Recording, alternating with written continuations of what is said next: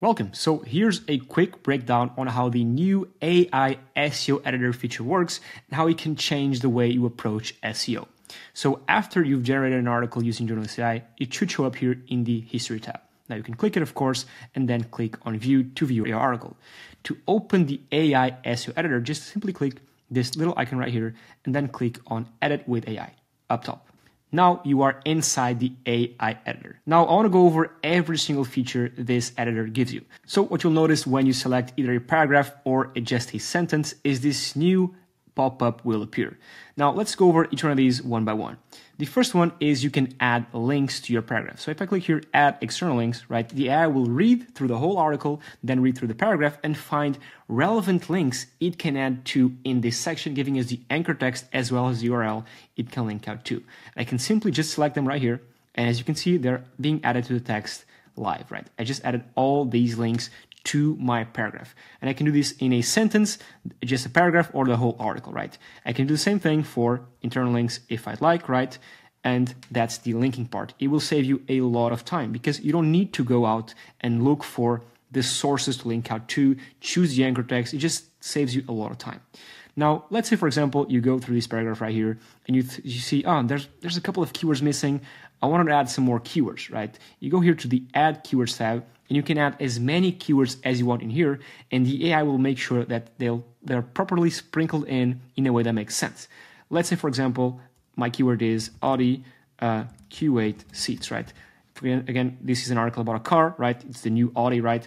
And I wanted to talk about and include the keyword Audi Q8 seats. So I just click enter, right? And now the AI will find the best way to add this keyword in a way that makes sense according not just to the context of the paragraph, but the context of the whole article, right? As you see here, uh, from driving modes to in-car entertainment, including the Audi Q8 seats, right? I click accept if I want. If not, I can just click decline, right? And again, I can add as many keywords as I want, and the AI will make sure that these keywords are placed in a way that makes sense. Nothing is ever random, right? I can keep on scrolling down and keep on editing things. For example, let's say here, this paragraph right here. Let's say I want to write, rewrite this. I click here, and I can make it I can simplify it, I can rewrite it, I can make it longer, make it shorter, I can make a list, I can make a table. Let's say, for example, I want to make a list, right? I can, the AI will take the info in this paragraph and make a list out of it, and I can accept or discard, right?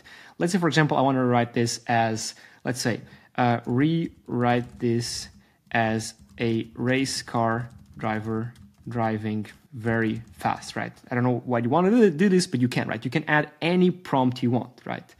Just click accept, right? a more a better way for me to show you how this works is write this as a baby crying, right? No one ever will want to do this, but you can, and the AI will change the text and the way it's worded according to the prompt you gave it. Okay, so there we go, right? As you see here, it's written in sort of a baby form, as if this was crying. So again, the AI will take in any prompt you want and it can rewrite it according to your prompt.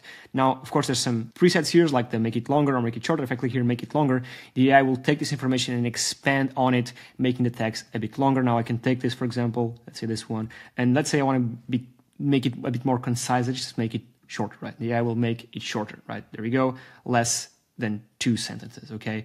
So these are the main features of the AI SEO writer in terms of text. Now you can also work it with images. If you click an image and you click this little icon right here, you can, with a custom prompt, change how the image looks like. Now, if I just say here, add a dog, it won't just make a picture of a dog. It will take into account the context of the article. In this case, it is a car review, an Audi review, right? And the image itself, and add a dog to the image of the car that was already there. So again, nothing is random. It takes into account the whole context of the article. There you go. So it, even though I just said add a dog, it knew it was an article about a car review and it added a dog next to it. I can accept or decline, right? I can go and take this one right here and say, for example, make the car blue, right? They can change the colors of stuff, and this works for people, places, products, animals. This works for any single thing, again, where you can add a prompt to. Again, there we go, the car is blue.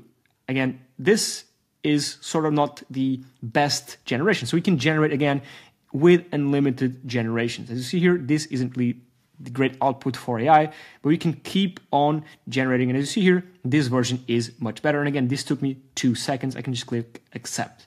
Now, on top of that, we can take the image alt text right here, in this case, Audi Q8 on a winding mountain road. Again, it is that, right?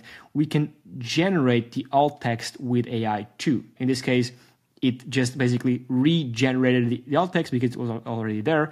But if I add an image right here, and I'll do that for you right now, I'm gonna go here, I'm gonna click add image, right? Add image right here from my computer. And if, for example, I add an image of Yoda, right?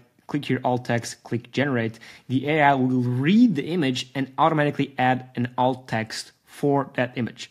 Yoda sitting on smoking surrounded by whatever, right? There we go. I accept that. Okay. Now you can do the same thing for the featured image right here. Again, you can click it and you can change it if you like, giving it a prompt, uh, the image itself, or you can change, of course, the alt text if you want. And these are the main functionalities of this AI SEO writer. Now, again, you can do all this manually, right? You can go out and you can add internal links, external links, you can add keywords, you can rewrite this stuff, you can do all of this manually.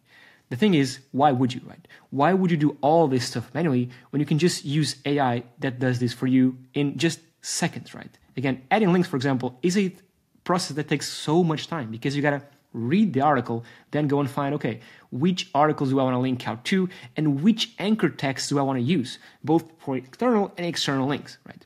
Adding keywords, right? Yes, you have the list of keywords you want to add. Yes, you can add them here, but then you want to make sure you add them in a way that makes sense. You want to make sure that the keywords you're adding make sense according to the context of and structure of the sentences, right? Takes a lot of time. Same thing for images generation, same thing for making things shorter, same thing for adding things to a table, to a list. Again, all this is here to save you time. So try it out, give it a go. We're really excited to launch this for our users. Thank you so much for being a user, and I'll see you very soon.